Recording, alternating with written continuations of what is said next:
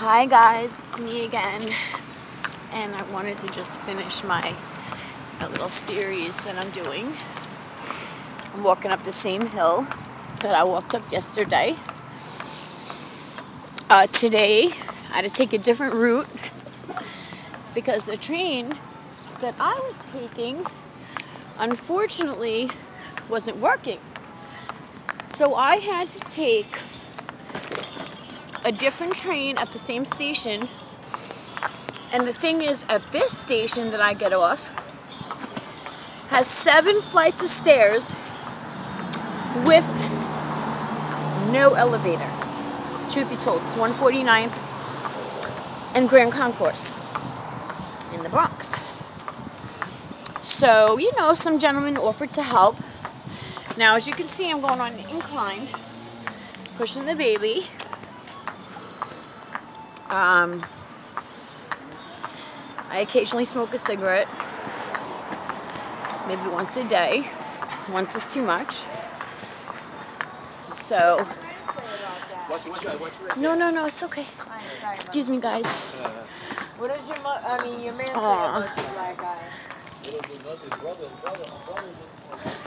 Oh God, it's a shame. I know what it's like. I know what it's like to be homeless or just past someone that's going through some stuff. But there are some good people out there that still care. So um, anyway, so as I said, I was going up about five, including the train station initially. That's how many flights it says. One, two, three, four, five, six, seven flights upstairs. No lie. You can Google it if you don't believe me.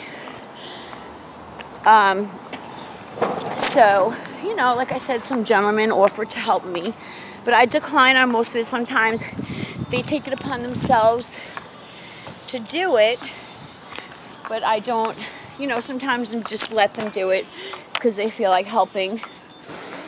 So this is like an exercise for me. And then I run all the way there because they close at 2. Um, this is part of my sobriety.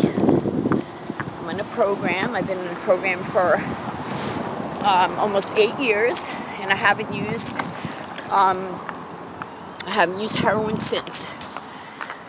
Truth be told, uh, the cocaine took a little longer than that. Truth be told, that I've been clean for for at least five years. Um, for some reason, that you know, I didn't smoke it anymore. I, I did do that for a long time. Absolutely, I'm not gonna lie. But I, I was, uh, unfortunately, I was doing it another way. And um, it wasn't sniffing. I don't need to say anything else. It wasn't smoking, it wasn't sniffing. Um, I stopped doing that. I stopped doing everything. I don't drink.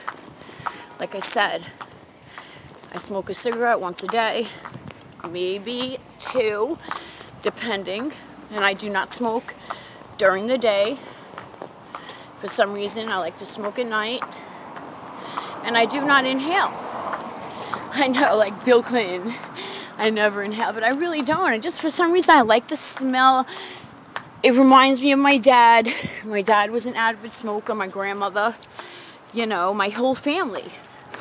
So for some reason, when I smell the cigarette, it's like nostalgic for me. My baby's so peacefully watching his show. And um, it's just that way. It's not like really that I like the the taste of it. It's really just the smell. So anyway, it's getting a little chilly out, and I'm enjoying the weather. I hope everyone else is enjoying their fall. Thanksgiving is coming soon. I hope everyone has a blessed and safe Thanksgiving. Um, but God is good, and I'm just so grateful for everything that God is doing for me. I really am. God is doing a lot for me. Just waking up in the morning, look. The way I look at it, a blessing to me is having a roof over your head, your children's head, having food to eat, and being without being at peace within yourself and coming to terms with whatever demons because everybody has demons. I mean, if someone says that they've never been through something, you know, uh, it's very, very far and few between. I'm sure there are those rare occasions where there's a family that's just so not perfect, but they really have minimal problems. Um, there are those families, and God bless them. You know, I'm not saying I don't come from a good family. I do in a lot of ways. Unfortunately, you know, back in the 80s when my grandparents were alive, when we were young, everybody was very close, tight knit. You know, it was like every Sunday was sauce and pasta, and we grandma would come over, or my mother's mother, nanny, my grandfather. Um, you know, we would have big Italian dinners, and excuse me, it was beautiful. Yeah. It was a beautiful thing.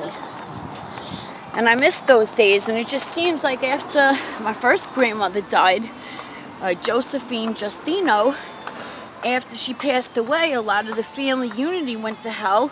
And then, especially after Grandma, Grandma Gloria passed away, forget about it. Everybody just pretty much went their separate ways in, in some perspective, you know, or it just seems that way. And plus, like I said, uh, my dad rescued me me and my sister Dee Dee from being molested for years by our cousin on my mother's side. He was older than us. Um, beginning past that, that kind of put a damper in the family unity too, because then there was a lot of bad blood. But uh, it needed to come out. You know, it needed to come out. Things like that shouldn't be hushed up. So um, after that, um, I went to live with my mom, and right now, I'm not going to get into exactly what happened, but it wasn't very good. And it hurts me to this day what happened. I, I forgive the situation, but it's something that I have to live with every day because the situation, um, it didn't get rectified as far as like, you know, the person is just still like there, like nothing happened. I have to face them. Um, the person, like nothing happened, put on my game face. And I don't like being phony, but the truth is the truth. This happened, and it breaks my heart that it did. And uh, I'll leave you, you know, to come to your own conclusions. One day I will document what happened, but right now I do not want to say any names. There's just a time period from when I was 12 till I was 16 years old. And in between that, my stepmother was very, very mean to me and my sister, especially me because I look like my mom. Uh, she would do very mean things to me. She was a good person in some ways. I'm not saying no because I'd be a liar. Um, when she would get drunk, she was much much nicer to us. She was a happy drunk. Um, she was a very loving drunk. But unfortunately, when she didn't drink, she was very, very, very cold and very mean. Very cold and very mean.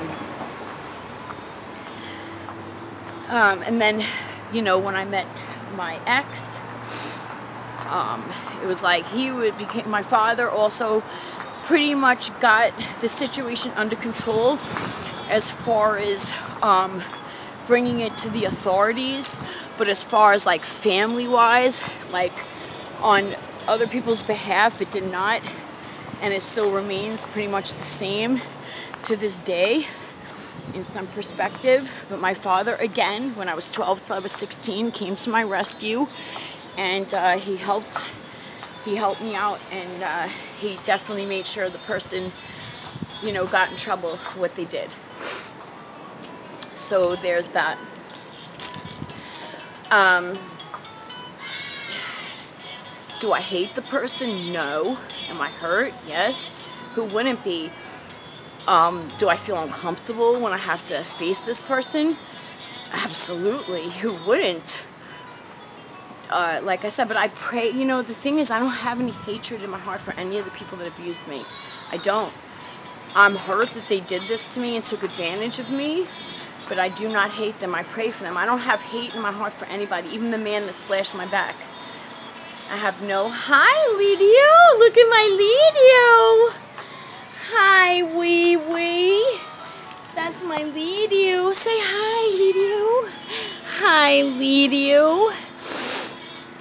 But yeah, I have no hate or animosity for them. Just really, I wish the person would come clean and admit what they did.